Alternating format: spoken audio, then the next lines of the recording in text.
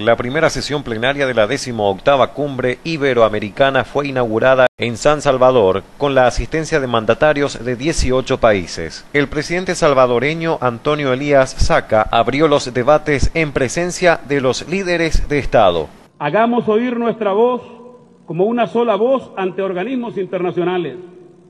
Que el resto de naciones sepan de nuestra Iberoamérica y de nuestros planteamientos creativos.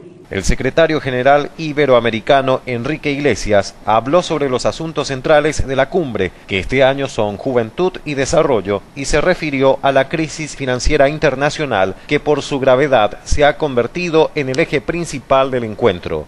Una crisis grave sacude hoy a la economía internacional, crisis generalizada, inédita y sin precedentes en sus orígenes y en sus manifestaciones que yo creo que supera en su complejidad a la crisis del año 30.